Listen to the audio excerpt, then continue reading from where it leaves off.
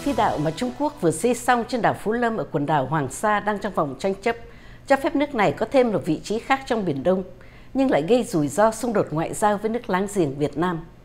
Tại một cuộc họp báo thường lệ hôm thứ Năm, người phát ngôn của Bộ Ngoại giao Việt Nam Lê Hải Bình cực lực phản đối những hành động mà ông cho là bất hợp pháp của Trung Quốc, vi phạm nghiêm trọng chủ quyền của Việt Nam sau khi hình ảnh của phi đạo mới xuất hiện trên báo chí Trung Quốc. Hãng tin Bloomberg tường thuật rằng sự hiện diện của Trung Quốc trên đảo Phú Lâm mà họ gọi là đảo Vĩnh Hưng có phần chắc sẽ làm tăng căng thẳng trong các quan hệ bang giao giữa hai nước láng giềng cộng sản đang tranh giành chủ quyền Biển Đông, nơi có các tuyến hàng hải thiết yếu cho giao thương quốc tế. Trên đảo Phú Lâm, ngoài phi đạo mới xây, còn có nhiều tòa kiến trúc dùng làm ngân hàng, bưu điện và văn phòng chính phủ.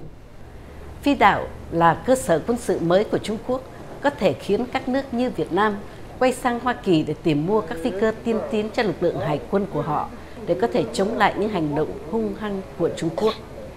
Bloomberg trích lời một nhà nghiên cứu thuộc trường quan hệ quốc tế Rajaratnam ở Singapore, ông Colin Cole nói rằng Việt Nam sẽ không bỏ qua dễ dàng động thái này. Ông này nói phi đạo mới sẽ làm tăng căng thẳng ngoại giao giữa hai nước. VNN dẫn lời ông Lê Hải Bình nói rằng khi xây phi đạo mới, Trung Quốc đã vi phạm luật quốc tế và phương hại tới các quan hệ song phương. Ông Bình cho rằng động thái này đi ngược lại một thỏa thuận đạt được giữa hai nước để giải quyết các cuộc tranh chấp biển đảo, đồng thời vi phạm thỏa thuận năm 2002 giữa Trung Quốc và ASEAN về cách ứng xử trên Biển Đông. Trung Quốc coi vùng biển trong phạm vi tấm bản đồ chín đoạn của Biển Đông do họ xuất bản lần đầu trong thập niên 1940 là lãnh thổ thuộc Trung Quốc. Và họ cũng đang xây các đảo nhân tạo trong vùng biển Trường Sa để củng cố những đòi hỏi chủ quyền của họ. Hãng tin Kyodo hôm thứ Sáu tường thuật rằng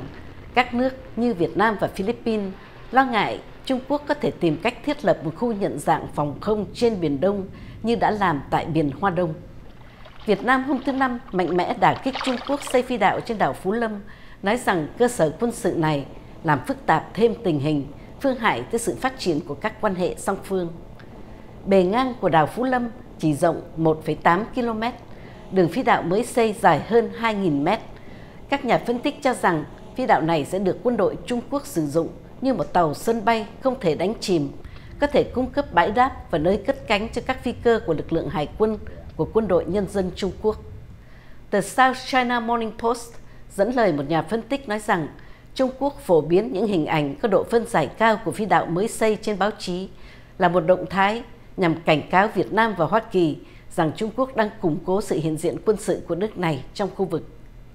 Bắc Kinh đã bày tỏ phẫn nộ về loan báo của Hoa Kỳ mới đây, cho biết là Washington đã tháo bỏ một phần lệnh cấm bán vũ khí sát thương đã được áp dụng nhiều thập niên nay với Việt Nam. Bộ Ngoại giao Mỹ nói nới lỏng lệnh cấm bán vũ khí sát thương cho Việt Nam chỉ áp dụng đối với các thiết bị giám sát hàng hải và an ninh. Tuy nhiên, các nhà quan sát quân sự Trung Quốc nói mục đích của Mỹ là giúp nâng cao khả năng phòng vệ của Hà Nội trên Biển Đông.